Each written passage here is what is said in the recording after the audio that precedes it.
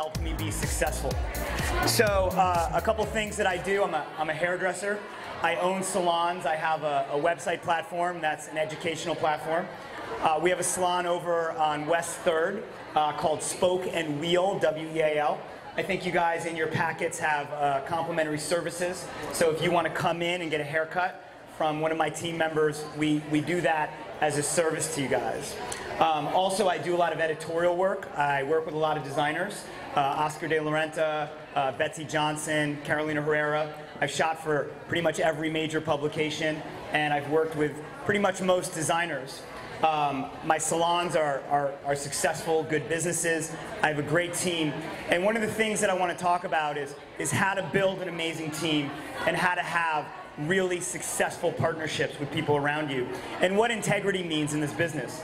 So one of the things I want to start with is this idea of intention, like why I'm actually here. And the reason I'm talking is so that in some way I can be of service to you guys. I'm hoping something I say in some way helps you, that whenever I do anything like this, I always like to kind of discuss that it's not like, hey, Jon Reyman's cool, because I don't really care about that. I have enough people saying Jon's cool. I'm not here to do that. I'm here in some way to influence you in a, in a positive way, hopefully, and help you in whatever it is that your stage of your business is and your craft.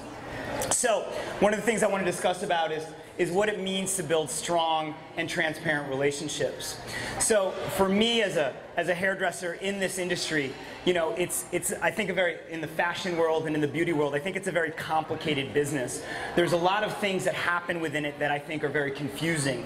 Um, for me, uh, I like to align myself with nice people that are authentic and are honest. Now, in this business, there's a lot of people that are not those things. There are a lot of people that act kind of crazy. And it's one of those things that I found that some people I work with, I'm like, oh my God, in any other world, nobody would pay attention to you. But you have success in a certain way, and you're allowed to conduct yourself that way. And those people have success around that. And for me, I try to stay away from people like that. I like to align myself with nice, kind, clear people. And the nice thing about this industry and this, this world that we're involved in is we get to choose relationships. We get to choose who we participate with.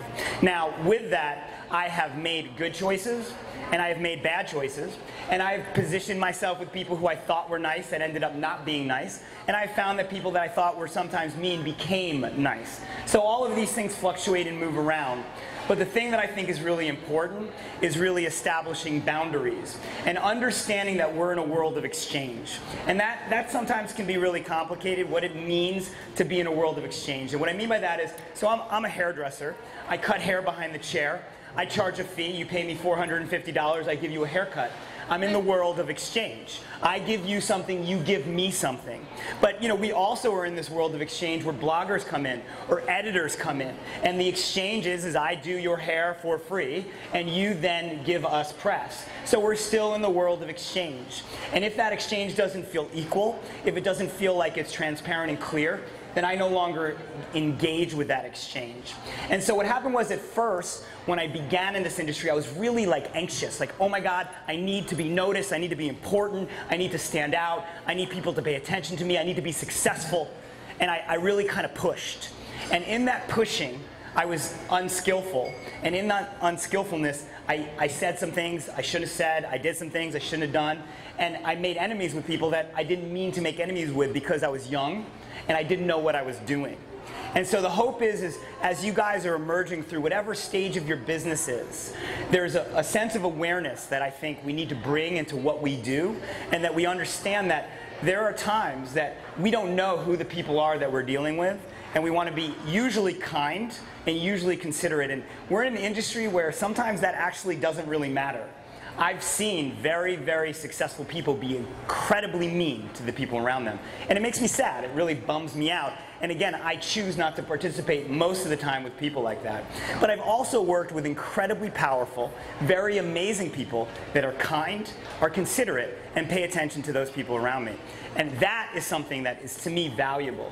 So I'll tell you, I think in this industry, in the fashion world, in the beauty world, there's no real quick fix. There's no quick path. I mean, there's a couple things. You get a reality show, maybe it gets you something, right? But the reality is, most of the time, when we work, we have to work with direction, we have to work with intention, we have to work with awareness. And to me, it's like I have to move mountains, and I have to have that really laser sharp intention. That it's not fluffy, it's not kind of like, oh, I don't know, it's very clear. So it's interesting, we, we opened up our, our West, uh, West 3rd location about a year ago. And in this, when I came to LA, I'm a New Yorker. Just so you guys know, I, I work back and forth between New York and LA. And I, I, I feel very New York. And what I mean by that is I'm very direct. I don't, and not that West Coast is not direct, but sometimes it's a little fluffy, right? And again, not a bad thing, you know, but it's just, it's not my thing. My thing is, is, is excuse me, get out of my way. Hey man, get out of my way. Like it's kind of that thing. Instead of, ah, I don't know, please. I'm not, I'm not a very polite person. I don't actually even think I'm really a nice person. I am, however, a clear person. And to me, that's my kindness. Does that make sense? My version of nice is I speak directly and I speak with clarity. And sometimes it's gentle, like, hey, how are you? And sometimes it's like, yo, pay attention, you're about to get run over. Get out of the street, right? So with that, when we opened up our West 3rd location, I was nervous because I'm not, I'm not the type of person that likes to, what I'll call peacock. And when I show my feathers, I'm special because I do these people and I know these celebrities and I've done these designers.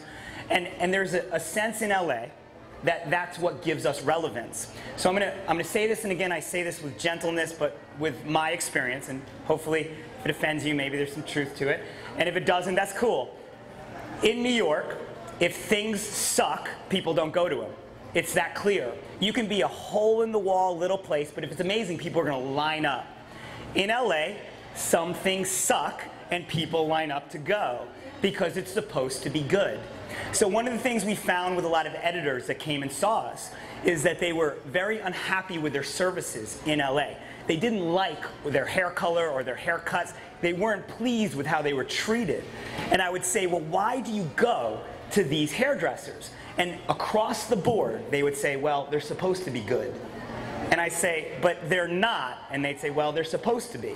And I'd say, what's more important, the idea or the reality? And I really want to embrace reality. And what I mean by that is the perspective that what's important is what is, not the idea of what is. So just, just because I know somebody doesn't give me relevance. Just because I'm a New Yorker doesn't make me a good hairdresser.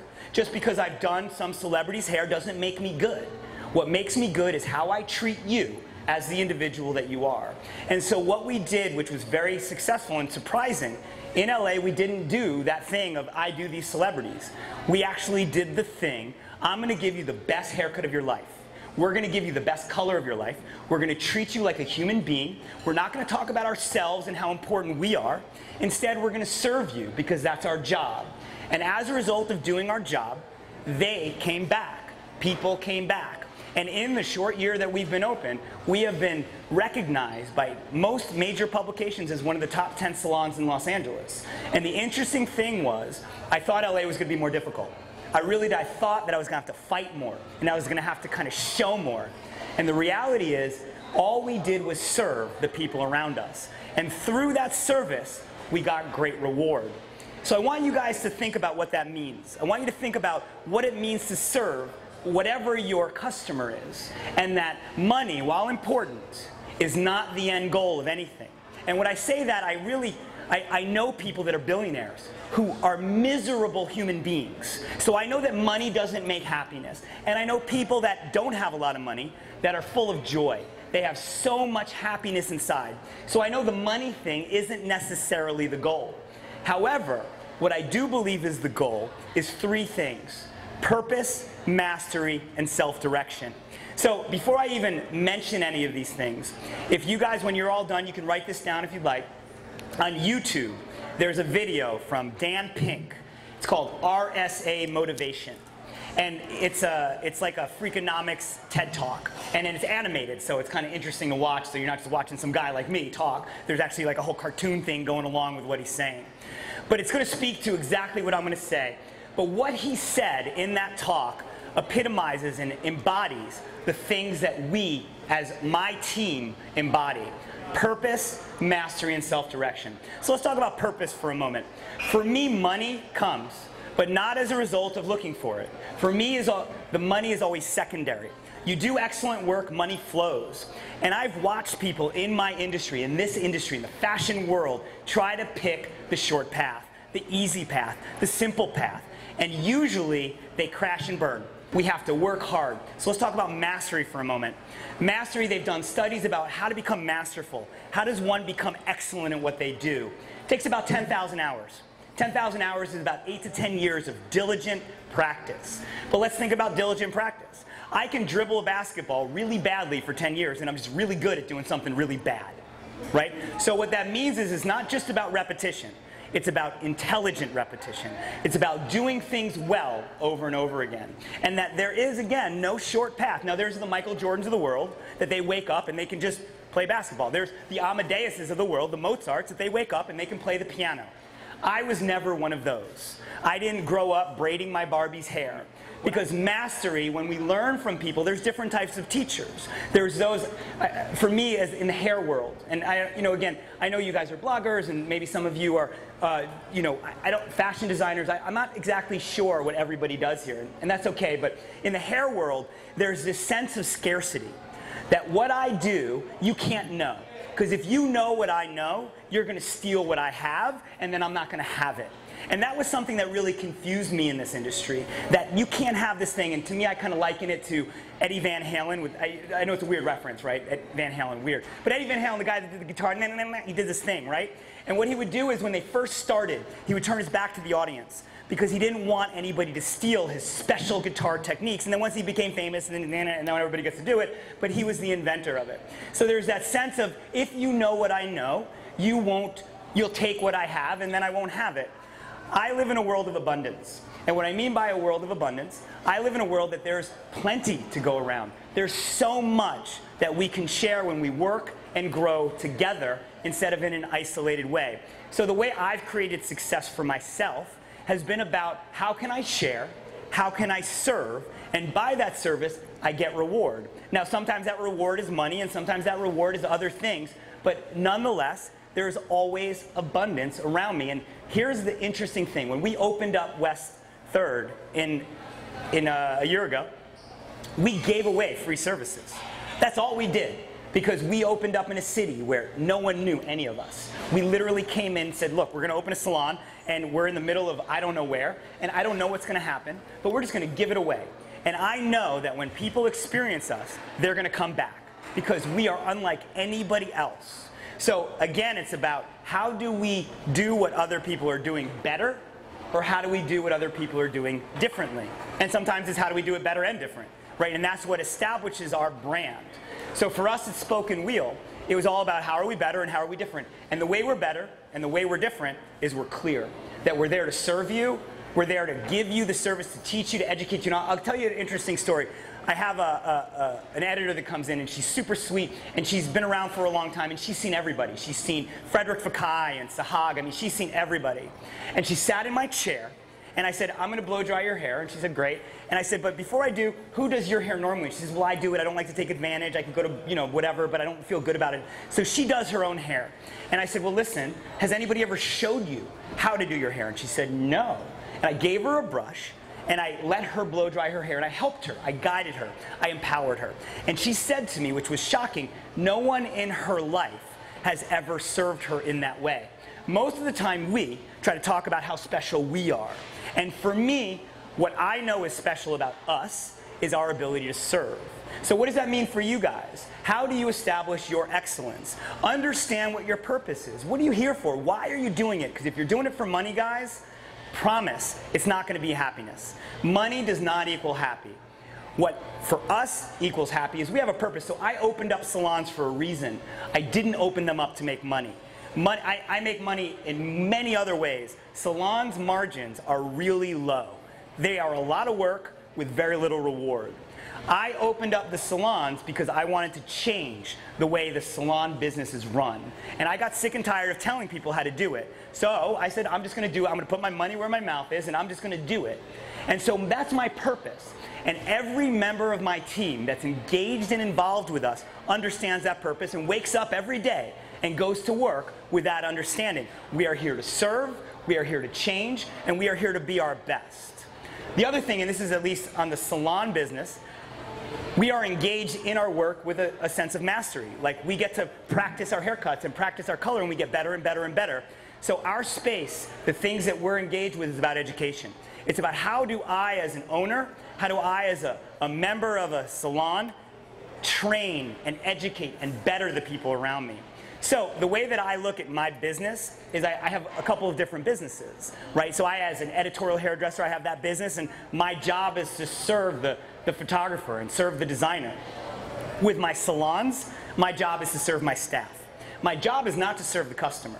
Their job is to serve the customer. My customer in my business is my staff. So that means I need to give them my heart and soul. I need to help them move mountains so that they can then move mountains. And what happens is something happens with engagement. And that engagement is as people will do what we need them to do as long as they feel enrolled.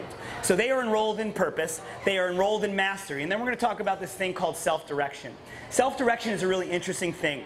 The Four Seasons hotels, no matter who you are in that organization, you can discount that product to anybody, that they are empowered to make decisions to help the customer get what they want. Our salons are entirely self-directive. So we don't pay a manager to run a salon. Most salons you go into, they have managers. They have somebody that you're paying 60 to 100 something thousand dollars a year to manage the business.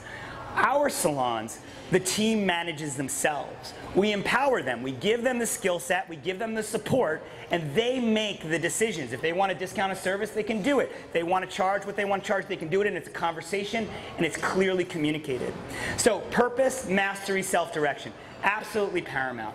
And so, with you and your business, whatever it is, I want you to think about what it means. That what is your purpose? What is it that you're mastering? If you're designing clothing, mastery, it takes time, it takes work, it takes intelligent repetition. Surround yourself with excellence. That's another thing that for me, when I started and I was talking about the, the Eddie Van Halen thing, when I realized I didn't know what I needed to know, I sought out people who were interested in helping me be better.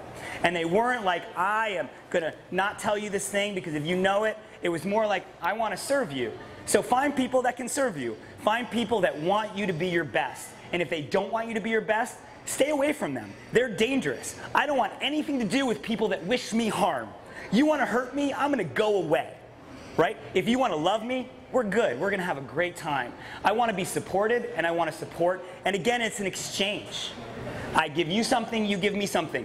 You know, I used to live in this world of unconditional love. I'm here to unconditional. I thought I was a saint. I was nuts. I mean, I needed medication. I was totally misinformed about the nature of the world that I lived in. And I lived in this kind of idea instead of reality. And what happens is I had to learn how to draw boundaries. And what I mean by boundaries is I will give you love when you give it back, and it's an exchange and it's really lovely. But if you start hurting me, I'm going to go away. Or I'm going to tell you you're hurting me, and then you can either not hurt me anymore, or I'm going to go away. So it is an exchange. It's not, I'm going to give you and give you and give you till I have nothing left, and then my cup is empty, my battery's done, I've got nothing to offer, and then you're all good to go and you've discarded me. So this is an industry, the fashion world, the beauty world, where some people just take and they take and they take and they take until they can get somebody else to give them and give them. And that's part of the world. That happens everywhere. But again, for me, in, in the world that I've lived in, I found that in the, the fashion world, some people do crazy things. It's like I've seen Zoolander. Not just the movie, but in real life. It happens. And again, when those worlds come into my world, I go, boy, that's great. I appreciate the money, but you got to go. I don't need your money more than I need happiness. So I'm going to tell you a, a, story about staff, you know, staff members. They have to conduct themselves in a certain way. And if they don't, then they are not a part of our team anymore. And we have people that make us lots of money. They do really well.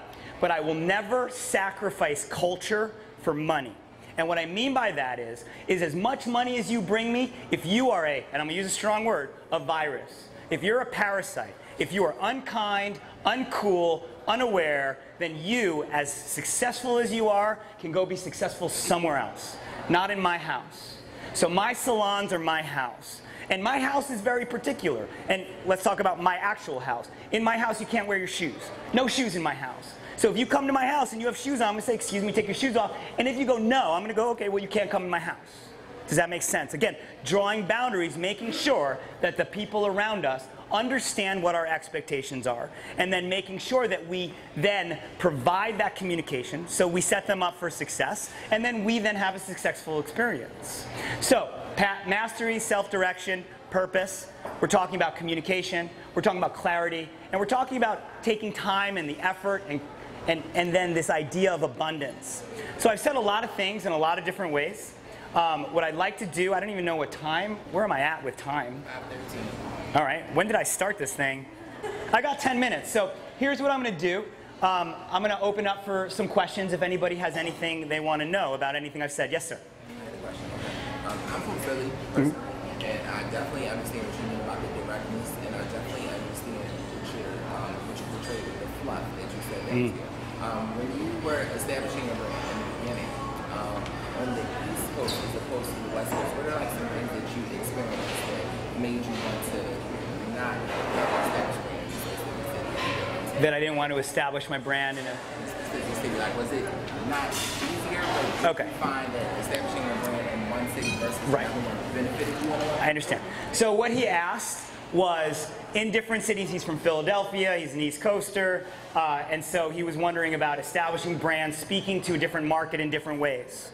So we have a narrative, and actually, I have this operations manager. She's a genius. She's super smart. And again, surround yourself with excellence. Surround yourself with people that know what they're doing. We have a great PR girl. I don't know how to do PR. We hired a PR girl, and I say, do your thing. I don't need to get in your way. I will do anything you say. You're the expert. I don't need to be the expert. I'm not a colorist. I don't do color. So that means when, if, when a client starts talking to me, what should I do with my color? I go, I don't know. Speak to my colorist. And my colorist does the job that she does. So I like to get people who are excellent, provide them with the information they need, and then let them do their job. I don't know how to build a website. I paid somebody to build a website. I don't know how to do social media. I paid somebody to do social media, right? So as far as our narrative, so let's talk about our brand. Our brand is consistent, right? And that's our brand.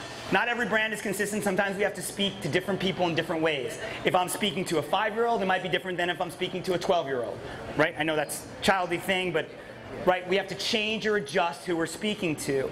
And, and I do that on a regular, even with guests. Sometimes I'm like, hey, hun, how are you? And sometimes I'm like, yo, girl, pay attention, because this is a mess. It depends on who I'm dealing with, and it depends on the situation I'm dealing with. So, with that in mind, our brand. Our brand is clear. We have a clear narrative.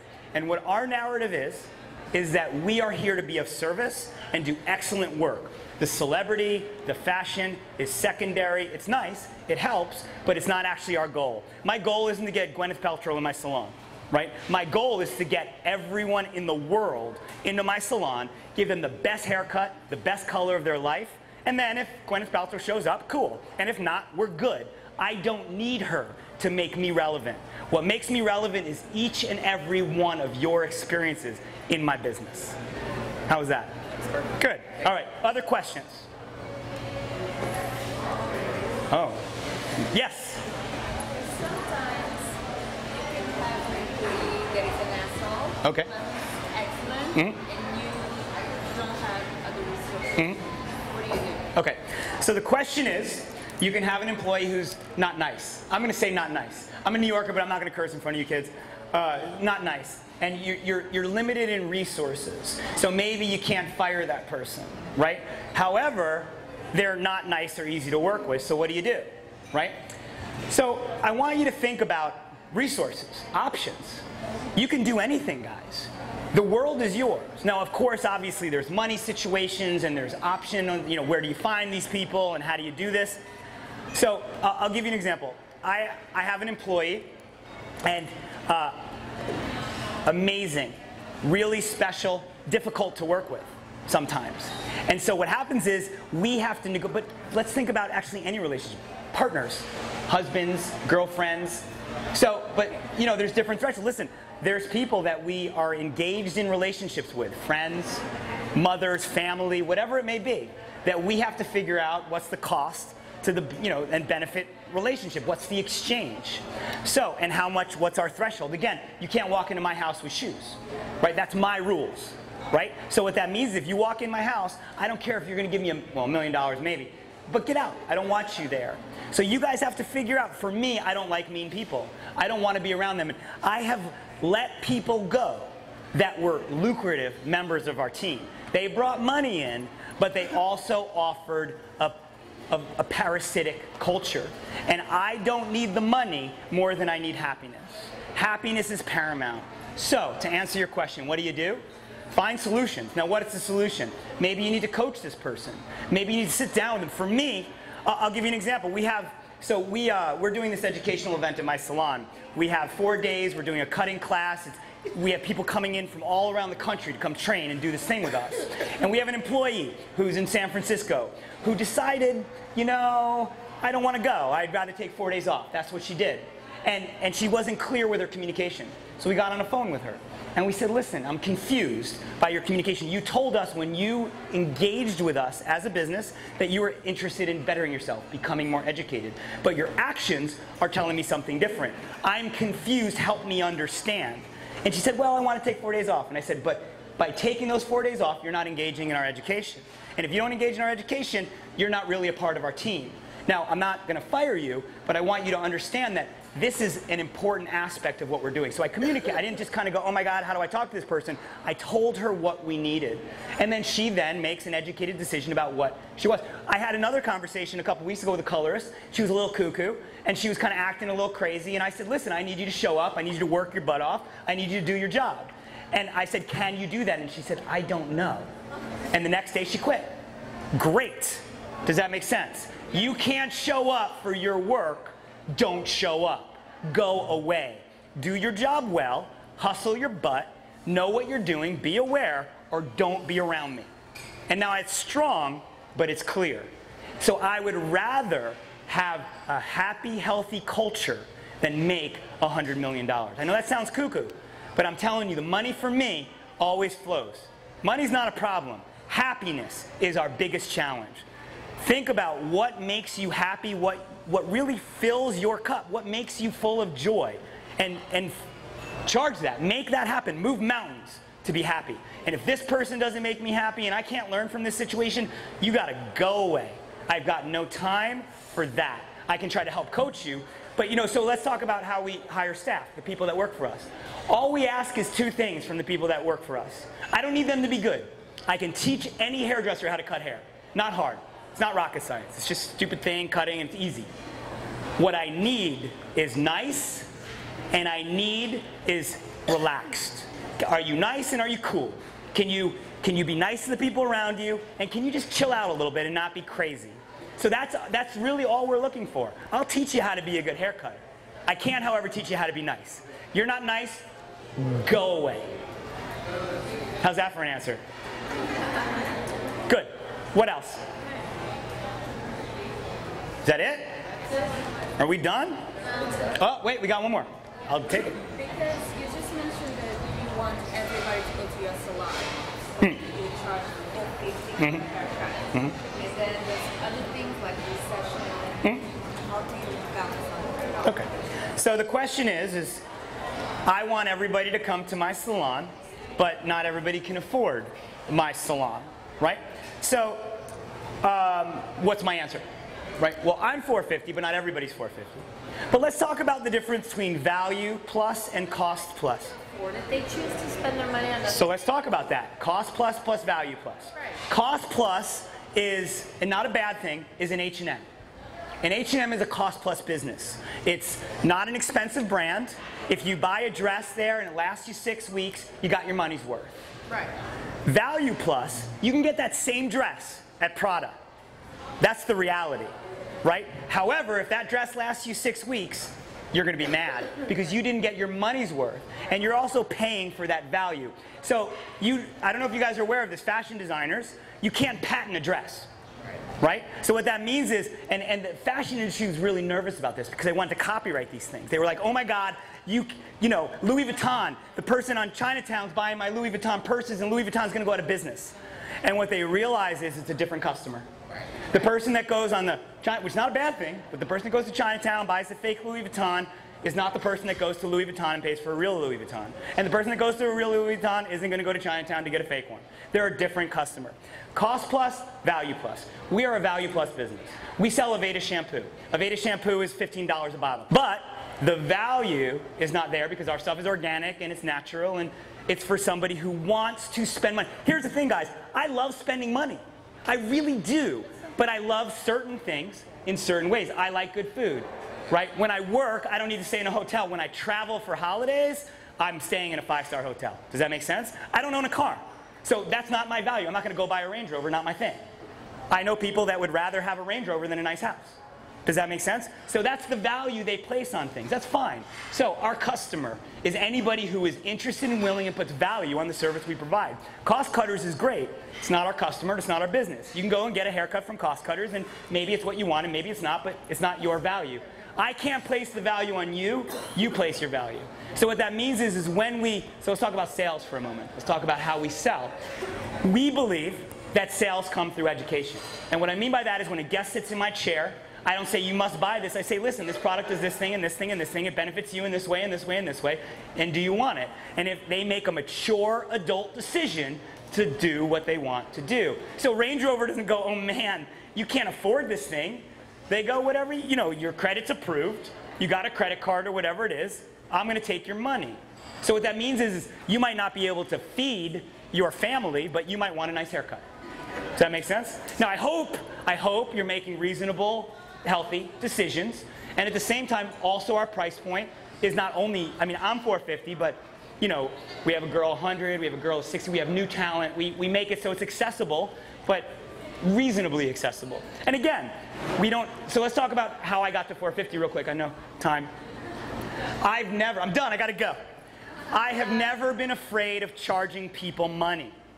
And what that means is, again, the money comes as a result of excellence. So what that means for me is I'm not like, oh my God, I'm charging you $100. I'm so scared to raise it. It's more like this. For me, that $450 haircut is a discount. They're lucky they're only paying 450. They should be paying 1000. They're getting it at a discount. So, what that means to me is I put that value on the service I create because my service, as far as I'm concerned, is the best haircut that that person can ever get. Now, that doesn't mean it's the only one, and they might not feel that way. Look, what's the difference between a Van Gogh and a Picasso and a Rembrandt? People have different feelings about different things. Does that make sense? But for me, I've always been very clear that I give you this clear service, and you're going to give me money, and we're good. And you're happy to give it to me. I'm happy to take it. I want to serve you. You serve me. Exchange. Clear and easy. Never apologize for the money you charge. Never. Never. And don't do it.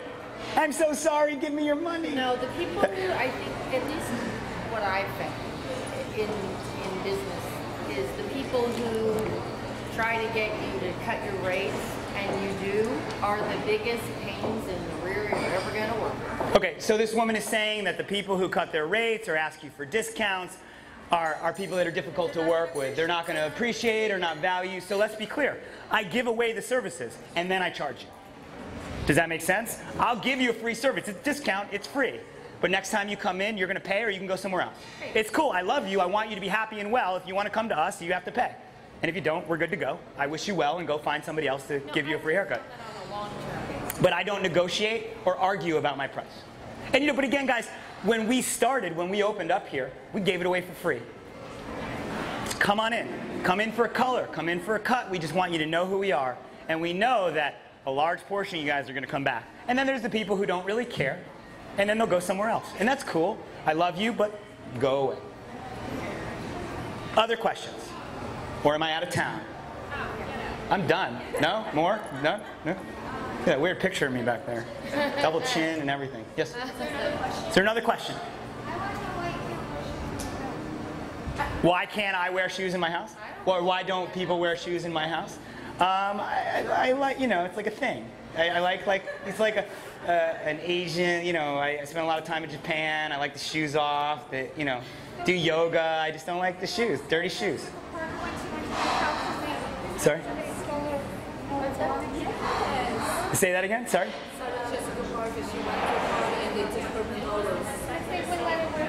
Okay, so you guys are talking about Sarah Jessica Parker going to a party and somebody stealing her shoes. Okay. Okay. That's fine. Put it in a bag. Would I pay for the? I'm just talking about my house, right? I'm not saying my salon. Keep your shoes on. You're responsible for the things that are on your feet, right? But at my house, you're a guest in my house, and if somebody stole their shoe, I don't know. What would I do? I'd say I don't. I don't know what I would say because it's never happened. Never So in my life, nobody's stolen somebody else's shoes. And here's the thing: if they needed it more than the good, take it. It's all good.